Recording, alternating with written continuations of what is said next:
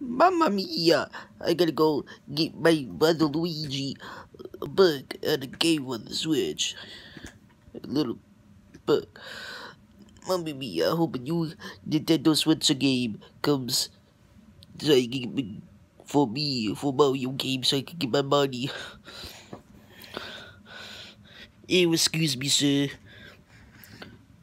Oh, yes. Um, you see you want to buy those items over there?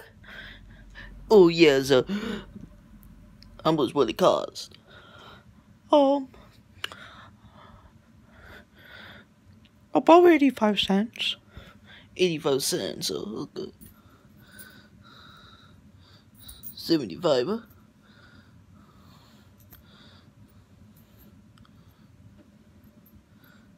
Eighty-five. Alright, thanks. Okay, go go give this to Luigi.